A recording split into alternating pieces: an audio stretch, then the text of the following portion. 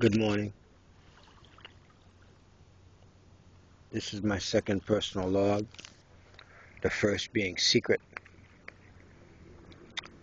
and will not be released until after the book release.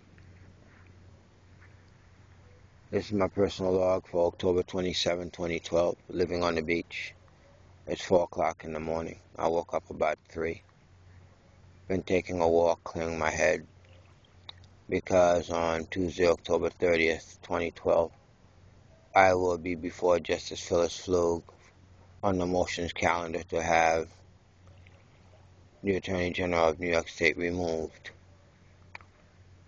from being the defense attorney of the state offices of the five black elected officials, four black elected officials of New York State and any weight his argument could have, I want that expelled. Because I don't want the Attorney General interfering in my case as to who I can sue in New York State or not, because his hands are dirty. He might have had the opportunity to defend them, but when he went on and began the prosecution of Shirley Huntley prior to a decision by Justice Flug on their motion to dismiss, that tantamounted to a period of conflict of interest till it is today.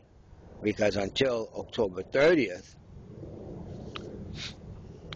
when the Attorney General is back in criminal court while being simultaneously in Queens County Civil Court, we have a problem. You can't be prosecuting and defend somebody defending somebody on the same day.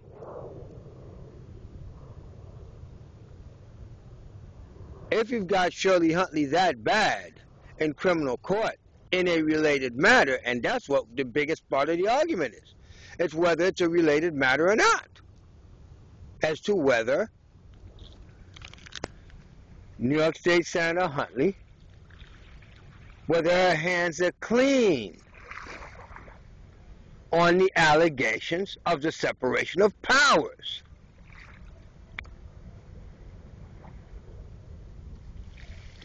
We also have her son dead. What happened to Robert Huntley, who, if you go to YouTube and you punch in son, homeless son of New York State Senator Huntley, you'll hear what he says. That can get somebody killed. Look what's happened to me. Victimized by the Veterans Administration twice on misuse and abuse of mental hygiene laws in order to discredit me, to discredit evidence on two different things. And three of the four New York Harbor healthcare system facilities of the federal government, their hands are dirty. We'll get to that. What we're talking about right now, people, we're talking about the administration of Michael R. Bloomberg and his urban policies and his redlining. He's railroaded tens of thousands of people out of public housing to make room by raising the bar. How did he do that? He got the policy writers to write policy that raises the bar, that circumvents federal law. How did he do that? He did it through his political appointees that are affirmative action guys, so he's got their own kind railroading them. It's only that the bushies get a chance to do it to the field ones.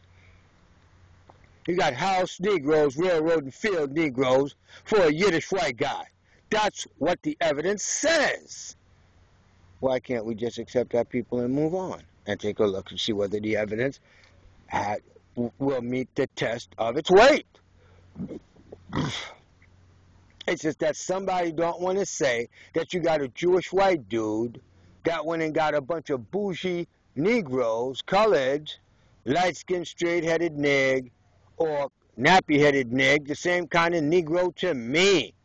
I'm a French green card guy whose life has been destroyed, and everybody's out trying to destroy me everywhere I go. For what? It's a matter of integrity, people. It's a matter of integrity. I don't see anything else. Do you? Can you see the light way down yonder? Well, it's really a light.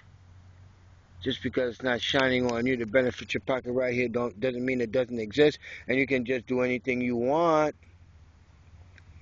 to hurt other people and to protect things that you have no business protecting criminal activity or being involved in them. And I got everybody busted. That seems to be my new hobby right now. I got to, I got to a homeless shelter. I'm, uh, and homeless veterans are getting abused. You're not supposed to say nothing, Joyce. If you want your benefits, you want your this, this, and that, you better keep your mouth shut. Okay.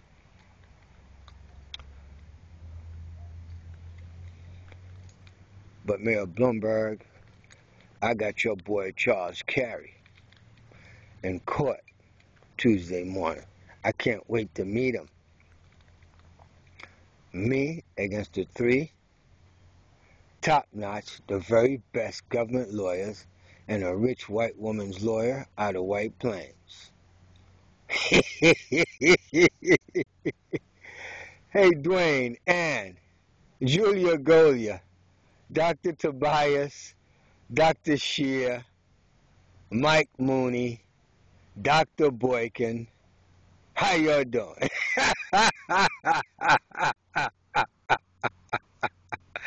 what you guys think you were doing? Huh? I'm going to go to New York State Supreme Court and I'm just going to spank me some booty. What do you say? I don't think you guys got the guts to come and watch. You get too much of a kick calling me crazy.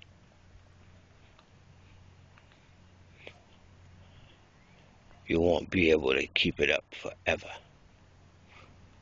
And I want you at your highest. I want you the most prominent. I want you to be the most rich you can be so I can watch your world crash around you and see how you take it. I'm handling it pretty well, don't you? Look into the light. Look into that light.